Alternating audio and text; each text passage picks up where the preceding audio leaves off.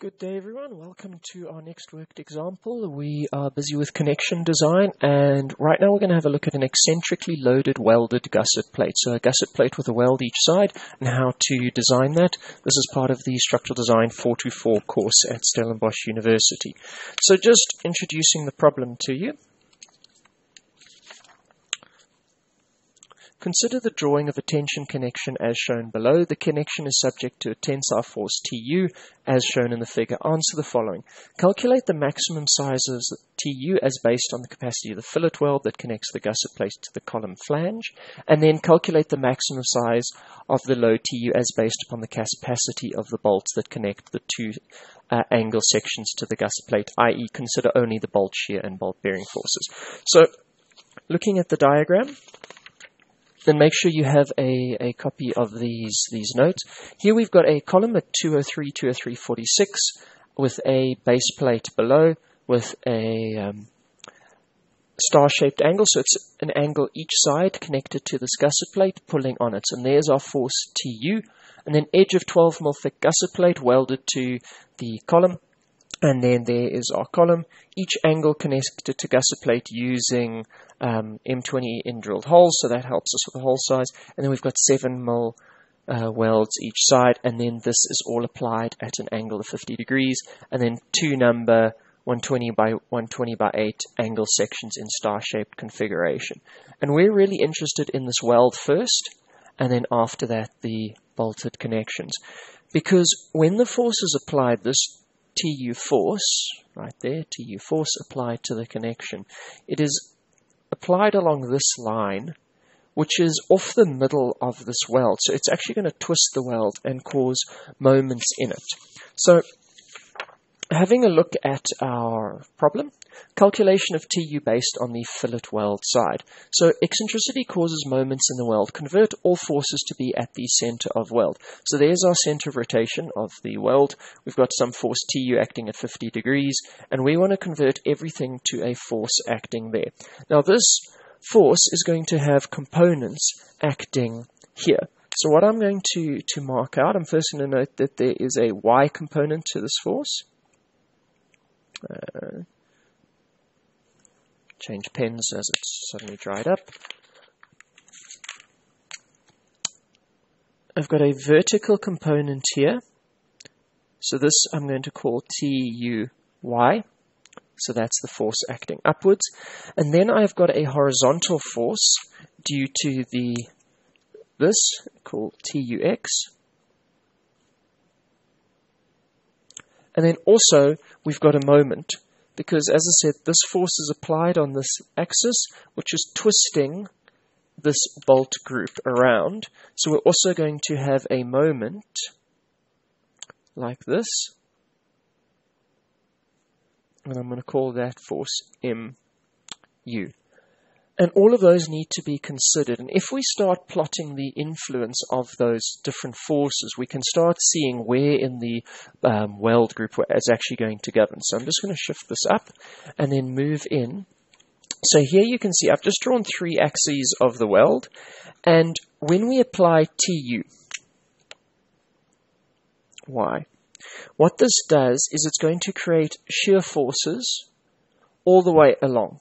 So we are creating vertical shear forces all the way up our axis. So that's our weld axis there. That's the 567 mils. So just to clarify that.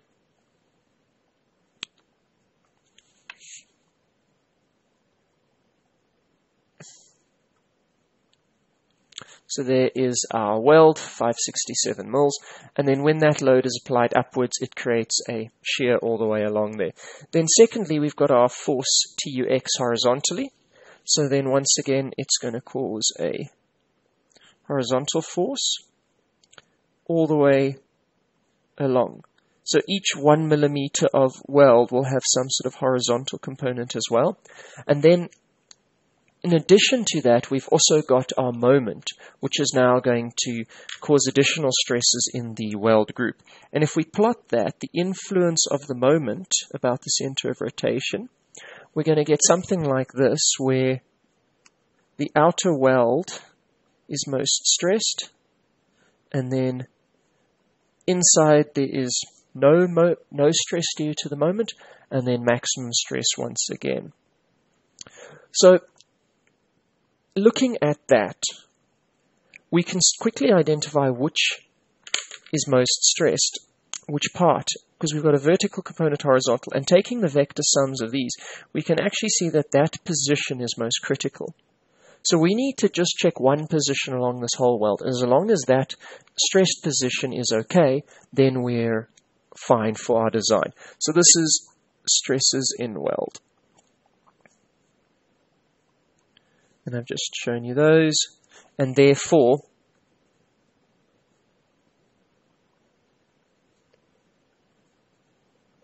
the maximum stress is at the bottom, as I just mentioned, because of those three forces acting together. So we're going to have a vector sum at some angle.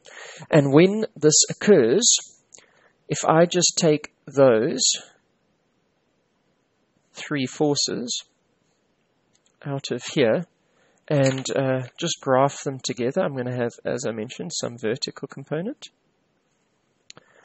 a horizontal component, and then another horizontal component due to the TUX, that'll give me a final stress, a final force, force per millimeter, like that, that black line. That's what I'm trying to check in my design and make sure that at this resultant at some angle is sufficient. So be careful when you're doing weld design because there's an angle we'll work with soon. And often we think that that angle is the angle of the load, which it's not. The angle that det- governs the capacity of a weld is the angle of the resultant on that millimeter. Because here we're checking this little one millimeter of weld with some resultant acting on it. And we're checking the angle relative to the weld axis here and making sure that theta, theta there, which influences the capacity. And as long as this one millimeter is sufficient, we're okay. So now I'm going to start with the equations and uh, putting in. That was just to explain what's actually happening in this group and where the, the stresses are acting. So moving on. We've got the different components. Um,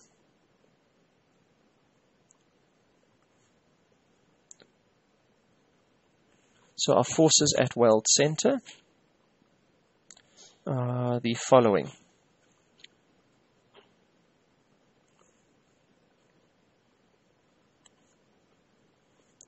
And I'm going to work out everything in terms of TU, simply because we're actually solving for it. Normally we're given the force, but in this case we have to solve for the force. And uh, just to make our life easy, I'm just going to solve for the cos 50, and then our y component is tu sine 50.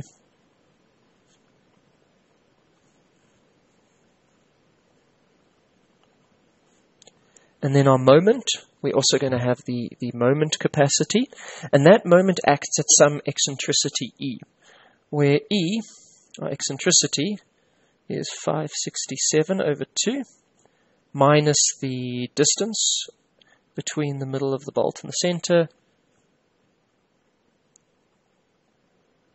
So just to explain, we've just calculated this distance E here. So as half the height of the weld minus this 196 millimeters in the corner.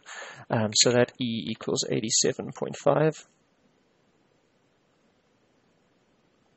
And we're going to use that in our design because once we've got our eccentricity, we can calculate our moment. So our moment is simply TUX times E, and then you can plug all that in, and you'll find that's 56.3 TU. So that gives me all the components x, y, and moment. Now we can start running through the um, forces and calculating the force per millimeter. So now, moving along, force per millimeter in weld. We've got a perpendicular stress or per perpendicular force. This is going to be due to this equation.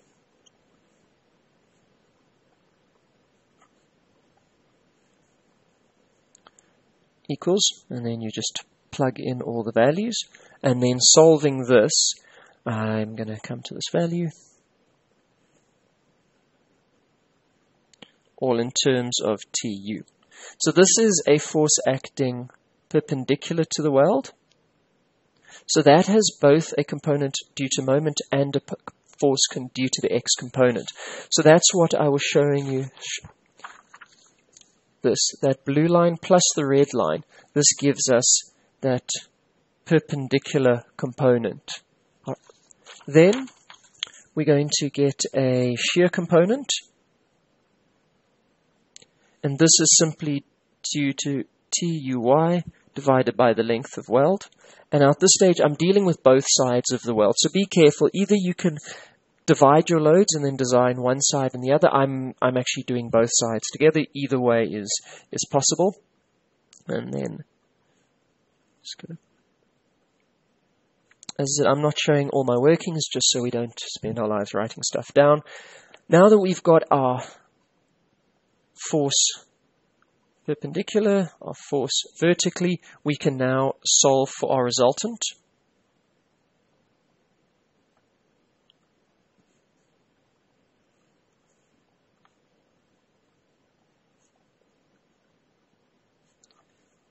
Just using Pythag. And then if we do that, as it you go write all the details in, and we have this force in terms of TU. Now, we also need the angle of resultant.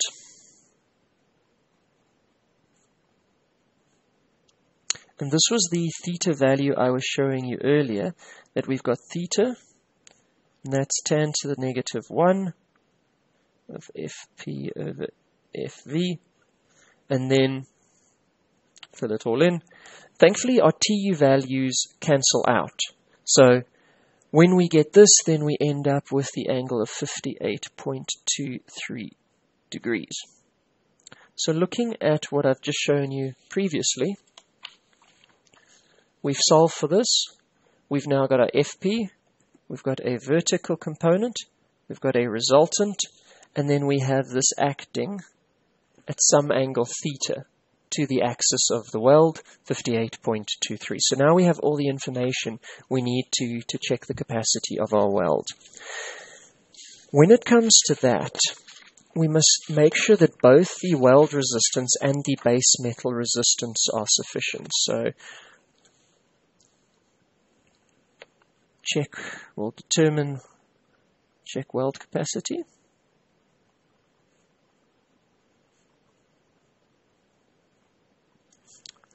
Because having a look at this, if I now come back to this, I've just got another example here, and I zoom in on this weld, each side you'll see some weld that looks like that. So there's my base plate. There's my column coming down. Well, sorry, there's my gusset and there's my column. This weld here and we take it to fail along that diagonal. It could fail through the weld material, or it could actually fail the base metal. So it can actually fail the steel. So when we do the calculations where there's two checks, both does the base metal fail, and then does the weld metal fail? And either of those could govern, and it depends on a number of factors. So we're going to now check both, both base metal failure and weld metal failure, see which one is, is more likely to govern, and uh, that, depending on the which one governs, depends on the angle, that angle theta. So coming back to our calcs, check weld capacity. Um, our base metal at failure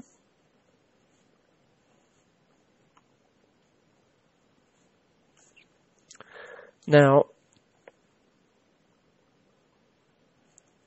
our ultimate stress in the weld will equal our resistance in the weld. So this is what we've just calculated previously. And this is 0.67 partial factor area and strength of the, the weld. Plugging this in and starting, because remember I'm looking for TU, So this was the resultant. Um,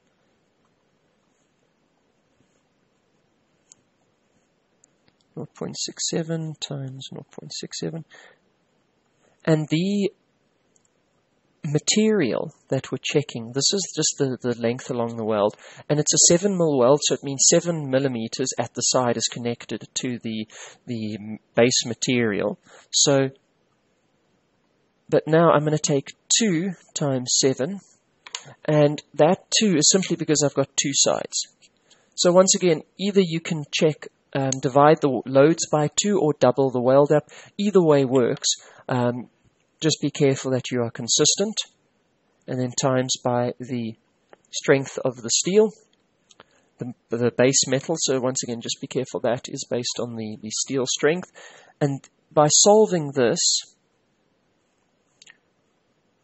the maximum force can be 1149 kilonewtons. So that's the potential of what the base metal will offer. But now we're going to check the weld material. And remember, when we check the weld material, we check it at its narrowest position, which is actually at 45 degrees. So that was that diagonal line there. And so, weld material at failure. Once again, our ultimate stress equals the resistance of the weld metal, and this is 0.67 times by phi.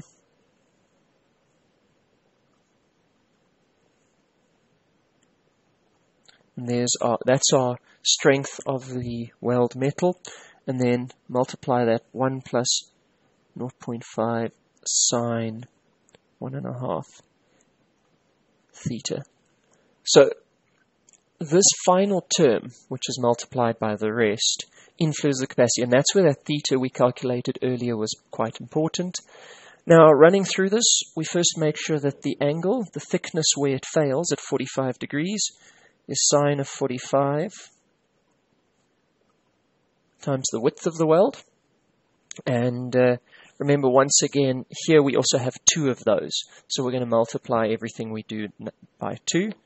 So plugging in the values we've previously calculated, we put all of those in the equation.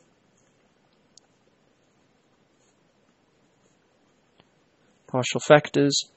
And then we've got two welds, so it's 2 times by 7 moles times by sine of 45.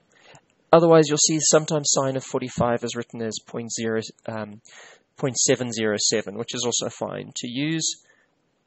We've got our XU value. Just to emphasize that. Um, we've got our XU value, and then we also multiply this by the influence of the angle of stress on the weld.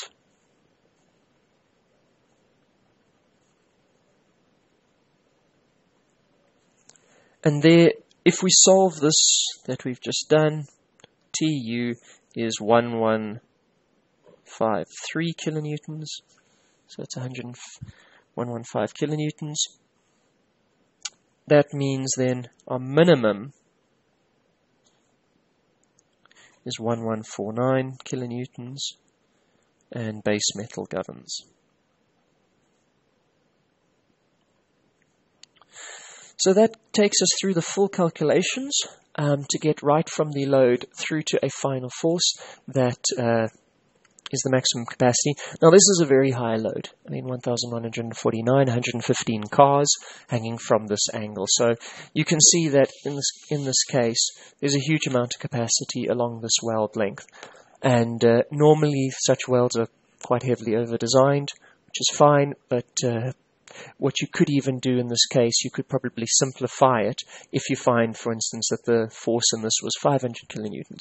You may simplify the equation quite a bit if you make sure you move the weld center to be at it and you only design the bottom section. You have a virtual gusset plate. That would make your calcs a lot easier, but we've gone through the, the detailed one where we had a moment, but you can get rid of that moment and then simply use the 50 degrees for the design if, if needs be. Okay, now we're going to go on to the, the next part of the, the problem. We need to check the capacity of bolt resistance. So how much bolt resistance can we have when this is, is failed? This was covered quite extensively in the previous example, um, the previous worked example we went through. So I'm not going to explain all the, the calculations we're doing. Uh, you can refer to the, the other video that is available online for the rest of these calcs. But first we're just going to check bearing resistance, check only angle, because the angle we're designing um, is thinner than the gusset, is less than the thickness of the gusset plate. So the gusset plate won't govern in bearing, and um,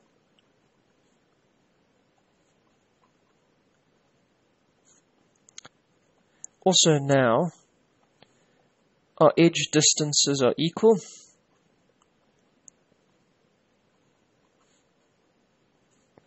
Equal for both because the edge distance does influence the capacity of the section, but the edge distance for the angle, um, sorry, for the gusset plate is 40 mils, and for the angle is 40 mils as well. So either of those could potentially govern, but since they're the same, the one with the thinnest plate will be critical.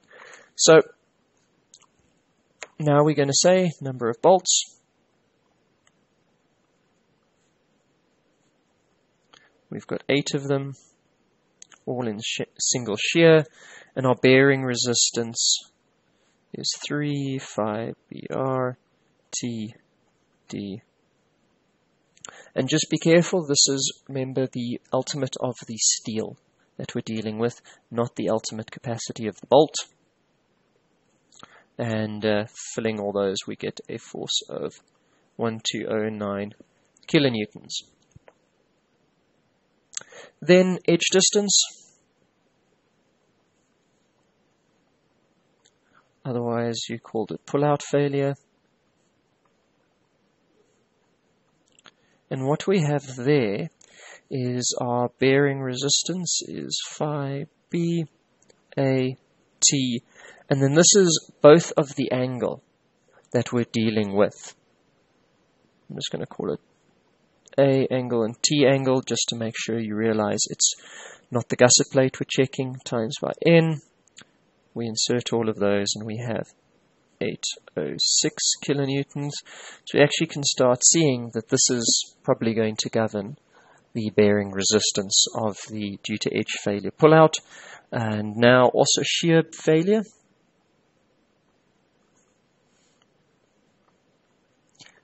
and we're going to assume the threads in the plane.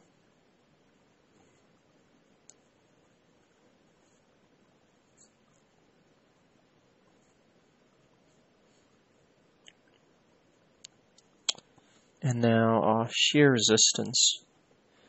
Because we're using the formula where the shear it fails at the plane where the threads are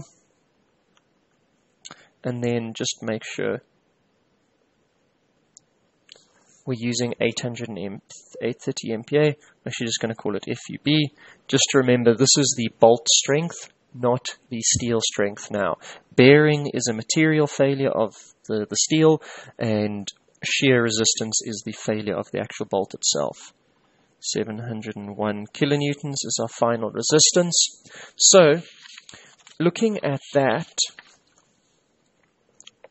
therefore, shear resistance governs. And our maximum force is 701 kilonewtons which is actually a fair amount lower than we calculated in the, the last example. So here you can see any either of the failure mechanisms could have governed the weld or the, the bolt, and we actually found that in this case, because of the sides of the, the welds, which are quite over-designed, the, the bolts will now govern the capacity. Okay, thank you very much.